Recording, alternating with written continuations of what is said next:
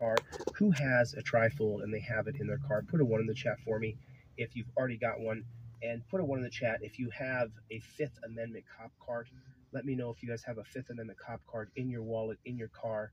If you have one of these, if you don't have one of these and you can't afford it, all you have to do is contact me. I'll email you one you can print out for free. I will email you a trifold that you can print out for free. Now, this is on indestructible paper. We're going to get more into that in a little bit, but first, I want to recognize Dan Hanlon, Jeff V. What is going on? Brick, how are you? Basil, Basil's now auditing. Basil uh, is on, on Team DLZ, and now instead of just being a Team DLZ member, he got a hoodie from me, he got a trifold and a cop card, and Basil is now going out and filming police. And your camera is the key to success for our country's freedom. You can fight for our rights just by going out and filming the police. Just get out there and film the cops. If you want a trifold, go to deletelaws.com. If you want to get a free pair of cop cards in your trifold, there's a $20 trifold and a $9 trifold. Please don't make the mistake of getting a $9 when you print at home and then wonder why I didn't send you a trifold and a pair of cop cards.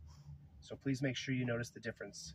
You can get a free pair of cop cards with your trifold. Make sure you get the $20 one because it goes right in your envelope when I ship out. I don't ship a trifold you print at home. I have to say that because otherwise people don't notice the difference when they go to the website. Okay, let's get into this and I'm going to show you some mistakes this guy makes and how we can make it better. All right. Okay, now on my I talking to? Now? Correct. All right, perfect. We'll start from the beginning. Mm-hmm. Officer Swift, badge 172. Mm-hmm. I'm stopping right now to give you a ticket because you're parked in front of a fire hydrant Mm-hmm. and there's no parking. You want to just hit the, hit the hydrant. on But uh, okay, we can get the hydrant on camera. Mm-hmm. Correct. All right, do Mhm. you have your license, registration, insurance on you? Um, once again, now what do I need a license and registration for? For identification reasons? Yes. And why do you want to identify me? You're in no parking zone in front of the hydrant. Um, but So this can go oh, one of two yeah, ways. yeah, it could. It It can go can. one of two It can. It can. You can say, Mm-hmm. all right, here you go. I go back to the truck. Mm-hmm. Your information's good. Mm-hmm. Are you here? Am I committing a crime? Am I committing a Are you crime? here picking someone up? Am I committing a crime? That's what you're gonna do. No, I'm I'm giving you I'm giving you Isaac. Okay, that's fine. And may you call a supervisor to the scene as well, please? Let's go back to the beginning here and I'm going to stop and I'm going to Okay, interrupt. now who am I talking to? recording now? Correct. All right, perfect. We'll start from the beginning. Mm-hmm. Officer Swift, badge 172. Mm-hmm. I'm stopping right now to give you a ticket because you're parked in front of a fire hydrant Mm-hmm. in a no parking zone. You want to just hit the hit the hydrant on camera. But uh, okay, we can get the hydrant on camera. Hydrant camera. Mm-hmm. Correct.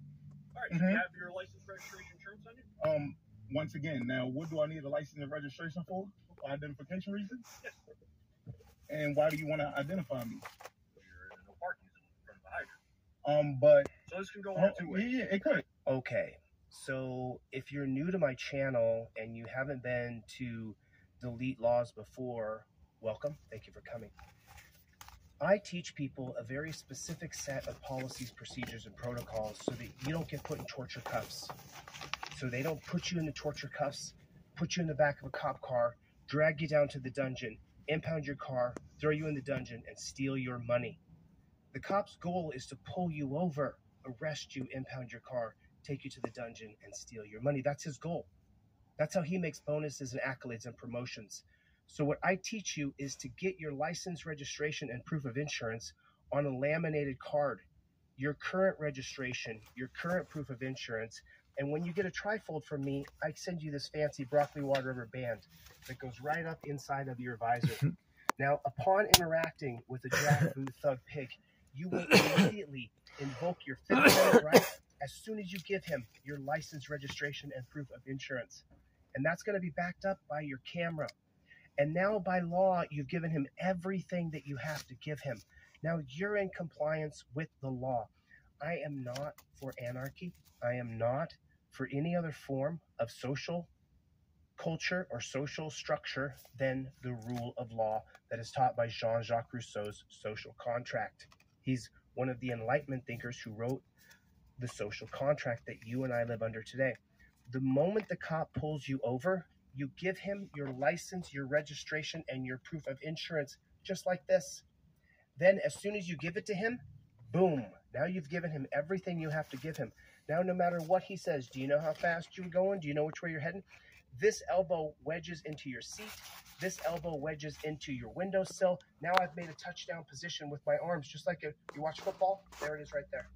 Now, now that I'm in touchdown position, no matter what he says to me, I say I invoke my Fifth Amendment right to remain silent. And you see what you don't have to answer. Don't ask me where I'm going, where I'm coming from. If I have a gun, if I've been drinking, I'll take no test or seizure. And then you follow it up like this. So you say, I invoke my Fifth Amendment right to remain silent. Not, I don't answer questions. I invoke my Fifth Amendment right to remain silent. Just like the trifold says, you can say, Fifth Amendment, I invoke my right to remain silent.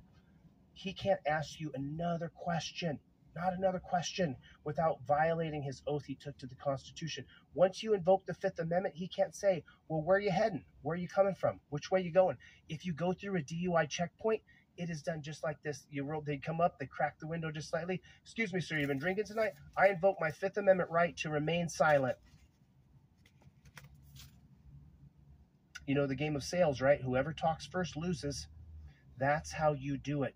Tonight during the live stream, if you go to my website, deletelaws.com, I'll give you 12 hours. I'll give you a trifold for free and get one free. You buy one, you get one free. Now, a lot of people have the idea that you don't have to have a driver's license in the United States of America. And the founding constitution says that you don't. You have a right to travel. The 1915 case of Hendrick versus Maryland says that you have to have a license. And as a leader, it's not my job to walk you into a dungeon. It's my job to walk you away from that cop. And once you invoke your rights, bam, once you invoke your rights and you got it on camera, you've seen me do it. Once I invoked my rights, I invoked my First Amendment right, my Fifth Amendment right. If that jackboot thug pig says anything to me, you watch my videos, I just start to lambaste him, make him look like a moron, make him look like the idiot that he is, the evil demon that signs up to be the cop. Now, some of you guys don't see cops as evil demons, but I do. Put a one in the chat if you're one of those people who thinks that cops, their goal is to pull you over, arrest you, impound your car, Fuck take you to the dungeon, and steal your money. And that's what the police's goal is. This bad chicken right here, with this technology that has revolutionized the world, is your key to taking your power back from these jackboot thug pigs. They dominated me for too long until I had the camera and I can invoke my rights on camera. And now, when I come on the scene, cops get fired. That's a fact. That's a fact. They, They they go one can. of They right? can. They can. You could say, Mhm. all right, here you go. I go back to the truck. Mhm. Your information's good. Mhm. Are you here? Am I committing a crime? Am I committing a Are you crime? here picking someone up? Am I committing a crime? That's what you're gonna do. It- No, I'm. I'm giving you. I'm giving Did, you did you hear how many questions he asked in a five second span?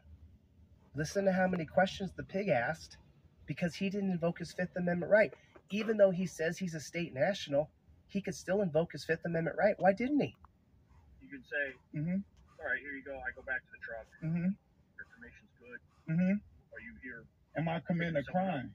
Am I committing a Are you crime? here picking someone up? There's a question. Am I committing a crime? That's what you're gonna do. There's another question. No, I'm. I'm giving you. I'm giving He answered the question. you license.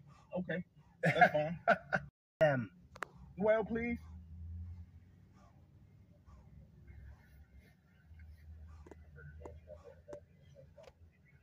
Yeah, can we get a supervisor to the scene, please? Right. A second. Do I see what? And I need you. Can you can you repeat your um badge number and your name one more time as well? Could you? Pardon me? identify yourself? Huh? You didn't identify You want me to identify myself right now? Okay. My name is Yusuf.